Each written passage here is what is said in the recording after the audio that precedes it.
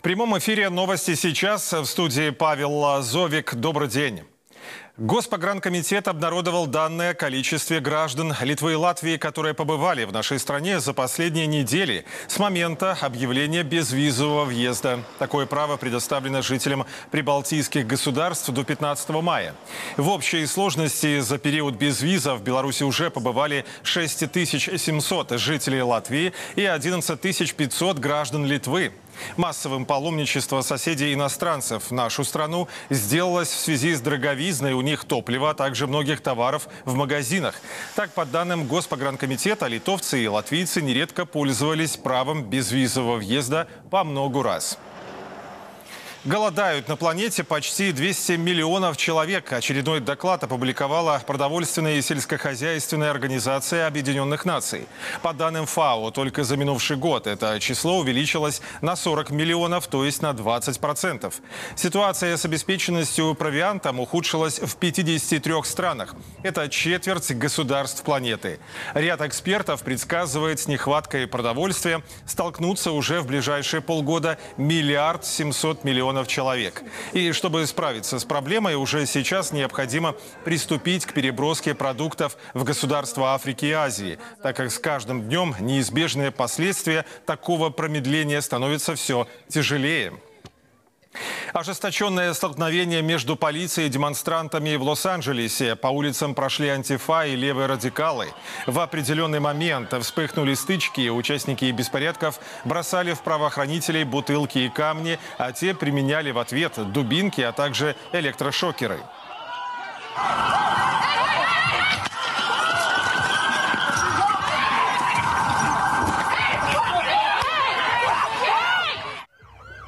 Ожесточение вызвало утечка в прессу проекта решения Верховного суда. Высший судебный орган США намерен пересмотреть дело, которое послужило прецедентом для легализации аборта в стране. Противниками решения выступает леволиберальная общественность, антифа, а также активисты БЛМ. Настроение в стране становится день ото дня все радикальнее. Утечка информации в СМИ привела к резкой поляризации взглядов населения. ЦРУ подготовила инструкции на русском языке для тех россиян и белорусов, которые готовы шпионить на США против своих стран. Об этом информирует газета «Вашингтон-Пост». В рекомендациях ЦРУ объясняется, как выйти на агента-куратора, что делать, чтобы не попасться контрразведке и так далее.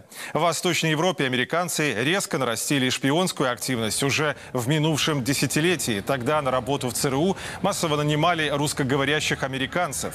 Теперь пришла пора вербовки людей, которые которое послужит расходным материалом. Дилетанты в сфере шпионажа редко добиваются чего-то путного, если, конечно, не считать успехом десятки лет за решеткой. В вооруженных силах Беларуси началась внезапная проверка сил реагирования. Воинским частям и подразделениям предстоит отработать вопросы приведения в боевую готовность, совершения марша в назначенные районы и выполнения учебно-боевых задач. Основная цель – проверить готовность к оперативному реагированию на кризисные ситуации как на земле, так и в воздухе. Воинские части и подразделения будут действовать на незнакомых участках и в условиях быстро меняющейся обстановки. Состав сил, привлекаемых к проверке, будет поэтапно наращиваться, что позволит проверить их способность противодействовать военным угрозам как на земле, так и в воздухе. Проверка носит комплексный характер. Пристальное внимание уделяется обеспечивающим системам, которые должны создать благоприятные условия для действий боевых боевых воинских частей. Проводимые мероприятия являются одной из наиболее эффективных форм обучения войск и не несут никакой угрозы ни для европейского сообщества в целом, ни для соседних стран в частности. В ходе проверки спланировано перемещение значительного количества военной техники, что может затруднить движение по дорогам общего пользования.